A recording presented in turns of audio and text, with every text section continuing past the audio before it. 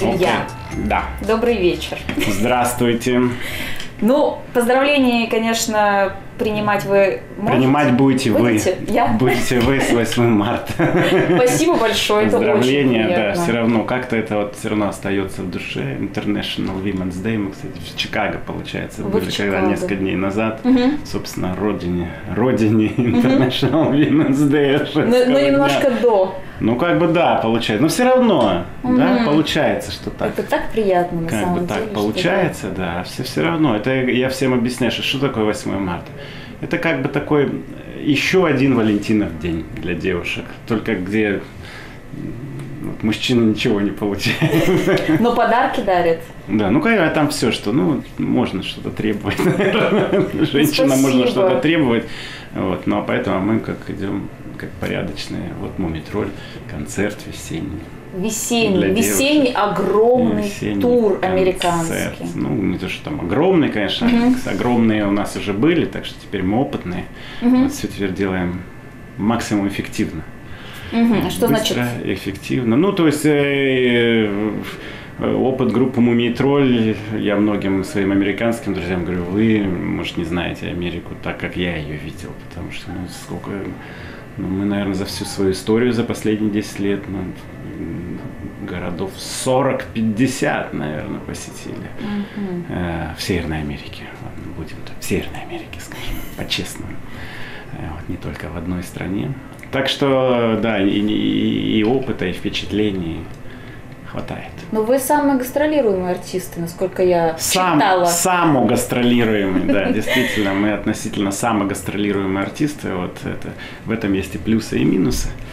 Э, Конечно, с одной стороны, ты отвечаешь перед самим собой, сам, но и сам за себя. Вот, то есть, если что, надеяться особо некого, не на кого, не на кого, что кто-то тебе придет, что-то там решит, поможет. Нет, все вот как-то сами, сами, сами, так вот и живем. А это правда, что вот так вот в связи с тем, что вы га- самогастролируемый, держите группу в тонусе, чтобы, не дай бог, вот там... Ну, безусловно, дело, в, пон- понимаешь, это как вот в любой рок-группе, да, и есть, конечно, какие-то там внутренние обязательства, но по большому счету все, все это, все это э, сводится к одному. Или у тебя есть вот эта страсть, как я ее называю, к международному рок-н-роллу, или, ну, вот, или ее нет.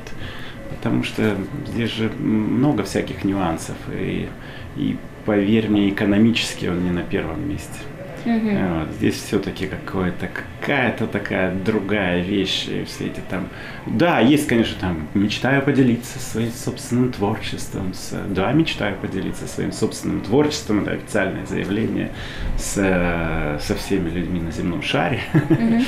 А, вот, но все-таки это больше, наверное, какая-то все-таки такая тяга, страсть к открытиям, путешествиям, что-то вот, ну вот в современных реалиях, наверное, так. И при всей вот этой тех, технологии сегодняшнего дня и возможности там, получать информацию, и вроде как такой виртуальный опыт, опять же, из своего собственного опыта понимаешь, ничего, к сожалению, или к счастью, наверное, не заменяет вот этого какого-то э, персонального, персонального прикосновения, персонального общения с людьми. И очень интересно, у нас же уже получается такая довольно впечатляющая история группы Мумий Тролли и, 30 и лет. га- гастролирование, скажем так. Да. Не, ну, Больше? если брать все там э, детские какие-то мои проекты, как те- теперь Ага. называются, мечты, можно и там и сто лет там назвать. Но так, по большому счету, вот такой, м, такие жесткие 15 лет настоящей концертной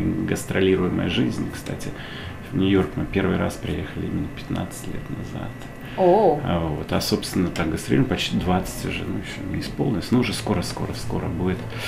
И чем-то отличаются вот И- американские туры от э, европейских, да, австралийских? ну, Какой-то особый подход? Да, да, особый подход. Есть, конечно, особ... некий там подход в работе, и это все-таки практической части, наверное, касается, что, скажем так, широкому зрителю, наверное, не особо интересно в этом разбираться для начала. Э, вот, потому что даже, наверное, музыканты, там более-менее профессиональные, даже им, наверное, это в этом не очень интересно разбираться, но вот мне, конечно, интересно всегда было, как устроена вся, вся вот эта жизнь изнутри, э, вот, ну вот, изучаю. До сих пор изучаю, до сих пор интересно, до сих пор э, э, что-то для себя находишь, открываешь. И в первую очередь, конечно же, конечно же, людей. Я понимаю, что вот за последние, скажем, пару лет гастроль главный такой вывод оказался, что мы действительно с определенной частью наших поклонников, да, и, скажем так, с определенным срезом не знаю, людей вот в этом времени последних 20 лет мы живем где-то вот так очень рядом. То есть не могу это назвать, конечно же, там никакими семейными отношениями, да, но такими вполне дружескими. То есть мы часто встречаемся, да, там в разных концертах. У них есть свои истории, у нас есть свои истории. Я действительно помню э, буквально все наши там тысячи концертов на перечет, и когда вот люди приходят и рассказывают, а помните в таком-то году, в таком-то городе? Да, помню, как оказывается, помню. И люди взрослеют, ну, не знаю, за ними идут какие-то их друзья, дети, угу. круг знакомых. То есть это вот такие круги, круги соприкосновения, да, что, в общем-то, да, и делает э, свою, твою собственную, мою собственную жизнь. Я никогда не избегал, скажем так, общения слишком с людьми. Хотя, да, иногда тоже хочется побыть Но я... самим собой. Самим собой. Но я хотела начать наш разговор с такой а, достаточно... то, а то, оказывается, мы уже почти заканчиваем. Добро пожаловать в Америку, но я прочитала, что вы живете сейчас в Лос-Анджелесе.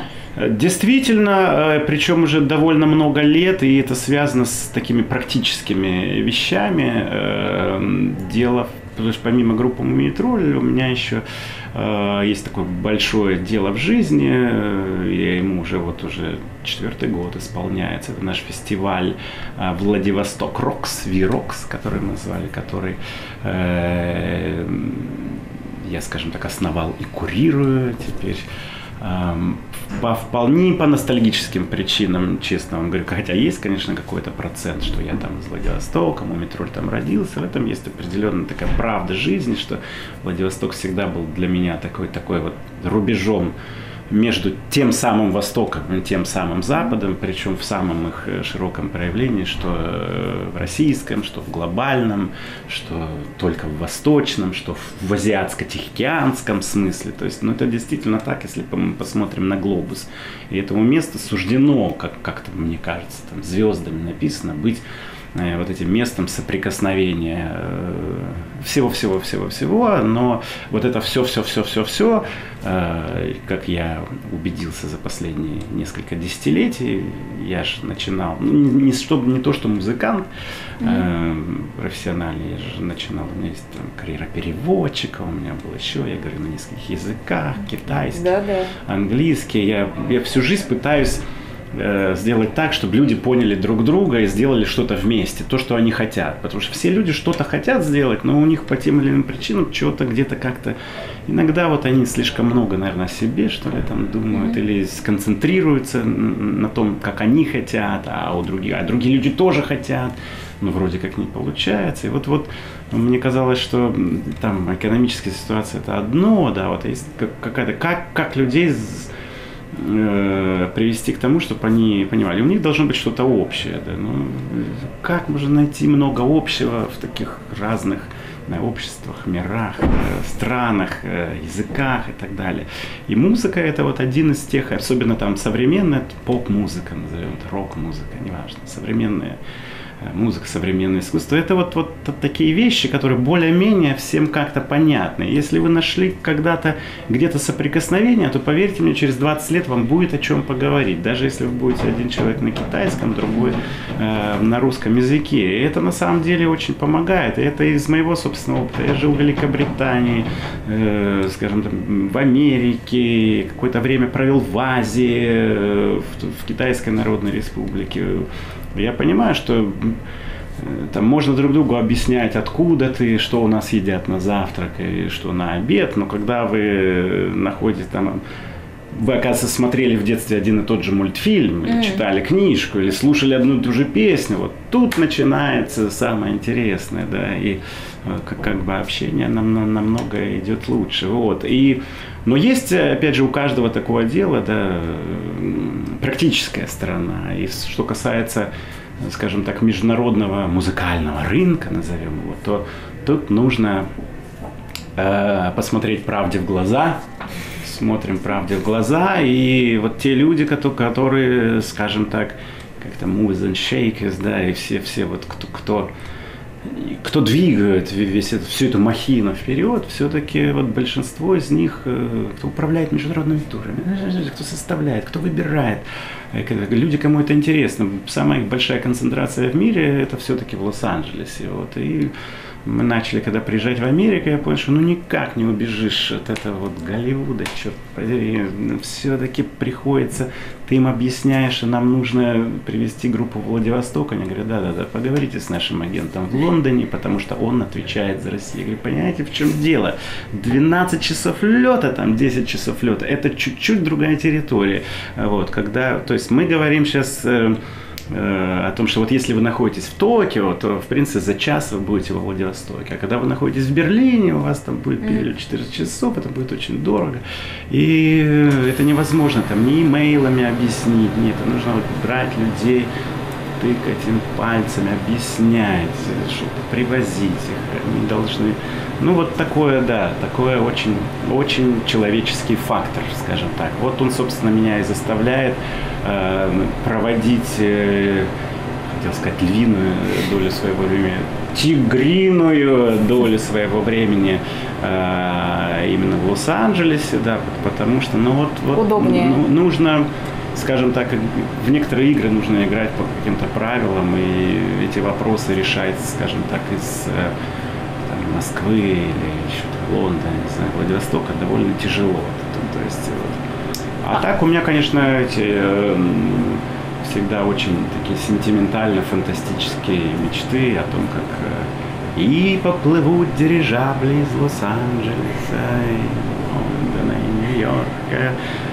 И буду садиться на набережной города Владивостока. То есть все-таки Владивосток? Ну, понимаете, у меня есть, да, определенные, определенные вот какая, какое-то как наваждение, скажем так, э, с местом, где я вырос, именно потому что я, я считаю, что у него есть какой-то вот необъяснимый такой потенциал, но по тем или иным причинам он требует гораздо более пристального внимания именно какого-то человеческого э, вот такого фактора и вот в таком каком-то культурном, музыкальном э, срезе я вижу, что это может быть можно сделать. И я понимаю, что больше у меня не очень много Э, соратников, скажем, в этом деле, которые разделяют все эти мои убеждения, но я вот честно вам признаюсь, что другого пути не вижу. Или надо вот, вот получается так делать, и, а по-другому никак. Вот, вот сколько-то там денег не бухай там или еще чего, не знаю, ты же не можешь там завозить людей как- как-то, это, ну, как некоторые, конечно, могли посадить на поезд людей, миллионами как-то вести, но мне кажется, что это не совсем правильно. Нужно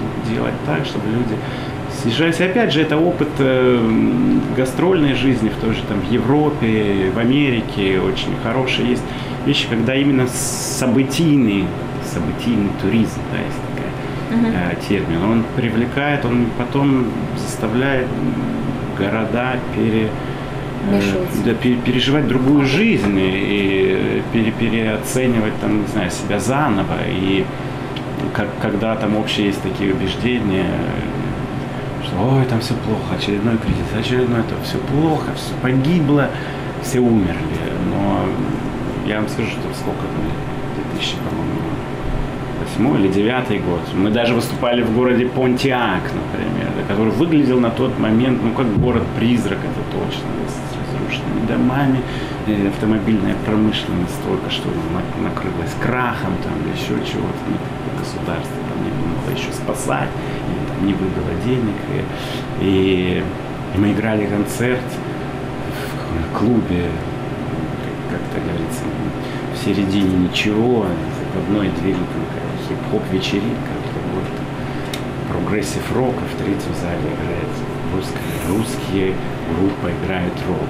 12, 11 человек в зале, как сейчас, по-моему, 11 человек в зале, из которых э, три человека пересекло границу из Канады, типа они знали в метро. Mm-hmm. Остальные, значит, местные вот, там, фанаты из других залов, которых там, знаю, решили, вот, любопытные. Вот такая вот у нас такая концепция. То есть теоретически получается 20% настоящих фанатов, и 30% настоящих фанатов, остальные любопытные. И, и для нас это тоже был, был такой определенный опыт, и почувствовать себя снова вот такой школьной группой, которая непонятно где, пытается доказать непонятно что, но при этом назад дороги нет, и ты делаешь, да. У меня действительно перед тем моментом, наверное, такой опыт был перед этим, 15 назад от Матова, один из первых концертов подростковой группы «Мумий вот, когда твой концерт приходит пятеро твоих друзей, из, из них два соседа по, по подъезду, и больше это, в принципе, никому не нужно. Ты играешь, это опыт, и есть потом о чем вспомнить. Ну, вот, и потом, когда, выходя на какой-то стадион, где ты не видишь даже где не видишь, где там трибуны находятся, только так примерно догадываешься. Есть, но вот, вот как-то я всегда желал не отрываться от каких-то реалий таких жизненных. Вот, вот, и... Ну вы вообще удивительный человек. Спасибо. Потому что у вас есть музыка. 8 марта комплименты. Лаверды. Э, у вас есть музыка, у вас есть э, Мумитроль бар, у вас есть фестиваль, сейчас кино вдруг, неожиданно? Да кино получилось не вдруг, совершенно. Я это продюсер, этот кинопродюсер начинающий, э, честно вам признаюсь. Кино было гораздо легче снять. Это, опять же, по большому счету, это такое документальное фиксирование событий группы, находящейся в пути. Путь был не очень обычный. Э, мы проделали путь там, от Владивостока до Южной Африки на э, парусном судне, которому больше сотни лет э, ну, настоящим. То, то есть как, как в старые добрые времена, тогда, когда еще вот, не было самолетов, когда люди шли через океан, не понимали, куда они идут, примерно так. Вот. И, собственно, фиксировали кино, это по большому счету история любой э, музыкальной, наверное, группы товарищей из любого из любого точки света, потому что каждая начинающая группа, в принципе, хочет как-то себе там показать и заработать какие-то за это награды, там, вот эти вот, э, мифические, где-то за горизонт, там, свои Оскары, Грэмми, э, граммофоны, вот, кубки, трофеи, э, вот, вернуться. И и вот, собственно, история. Снять оказалось легче, то есть там, проделать все это путешествие легче, чем вот потом процесс редакции фильма и так далее. Но сейчас мы уже пришли к пониманию, каким должен быть э, формат, и э, есть какие-то люди, включенные в процесс, кроме меня, люди более-менее понимающие, чем и фильм, который э, э, рабочее название, вернее уже не рабочее, настоящее название Владивосток Vacation, вот, а по-русски он будет называться как наш альбом «Соцматросу». А, соответственно, вот э, э, the Wood, э, называется в районе Канского фестиваля в этом году. Мы в этом году в мае. Презентовать в мае, да, вот, вот стараемся очень. Теперь у нас есть такая цель, mm-hmm. вот, соответственно, к ней мы к ней мы двигаемся. Так что будем надеяться, что в этом году уже мы сможем увидеть его на нескольких экранах земного шара. Ну и Картина ТВ, конечно же, всегда нам поможет. Обязательно поможем. Я вот уже слышу звуки музыки. Звуки музыки Вам действительно пора. раздаются. Нам пора. Эм, сегодня на сцене с нами выступает группа замечательная Jane and the Nines. Э, у нас была совершенно исключительная история нашей встречи. Ребята просто вышли из самолета в городе Владивосток и сказали, мы приехали сюда, мы могли бы сыграть у вас на фестивале. И я не мог отказать, понимая, что люди просто из Нью-Йорка на другую сторону света взяли, да приехали, просто потому что они хотят поделиться своим творчеством с другими людьми, абсолютно не понимая, как их будут принимать, что их ждет. И э, это был э, очень такой интересный прецедент э, в том, что у них сейчас, по-моему, громадное количество э, поклонников в том же Владивостоке, особенно среди девушек, потому что, наверное, они как-то увидели свое отражение своего какого-то спрятанного «я», да, Джейн, она такая открытая э, девушка, очень, по-моему, такой перформер, исполнитель, исключительный и это был такой хороший пример, мы продолжаем дружить. Гастролировать. вот, гастролировать, да, они нам помогают здесь, мы помогаем так. Ну, как- как-то вот такой вот нормальные, товарищеские, при этом творческие отношения. Именно то, чего я желаю, скажем там, другим, другим людям. И благодаря особенно вот таким встречам у нас родилась такая совершенно не лишенная своей оригинальности идея со- создать такой культурный фонд э, именно по развитию музыкальных связей между между этой стороной океана и той стороной океана, и между океанами вообще Атлантическим А, и- такой международный? и Тихоокеанским, да, международным. Вот над этим я еще опять же работаю в этом году. Я думаю, что на концу, эм, э, то есть такой фонд, скажем так, позволит э, нам открывать больше именно молодых имен, тех ребят, которые там, не знаю, по гаражам пока еще играют в Нью-Йорке, во Владивостоке, в Вильнюсе и Шанхае, найти возможность действительно им встречаться вместе, потенциальных поклонников, потому что интерес есть. Я, я, я всегда понимаю, что все любят, скажем, там, проверенное годами или еще чего-то, но время, какая-то доля открытий тоже должна существовать в жизни. Именно это делает, это и делает увлекательную нашу жизнь, чтобы потом мы говорили, а вот тогда, в таком году у меня был замечательный день, видел вас,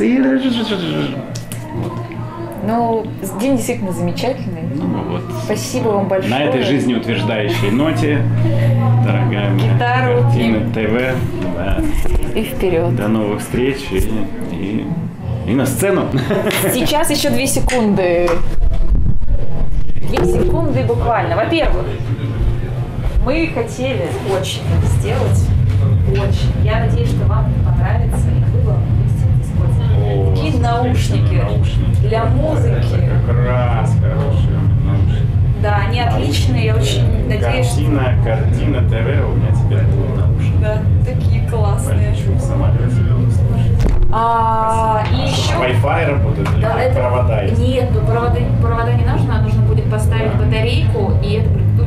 батарейку не, не дают?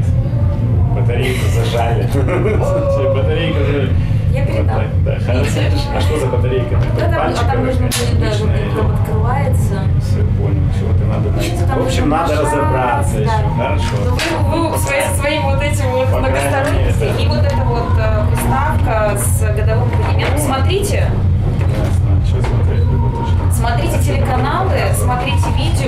видео, где, возможно, после Канского фестиваля будет. А? Это абонемент на год. в любой части мира, что вам особенно актуально, вы можете подключить и э, Ну, в смотреть. общем, будем разбираться. Будем разбираться. Если не разберетесь, звоните. Мы тут рядышком с вами, Хорошо.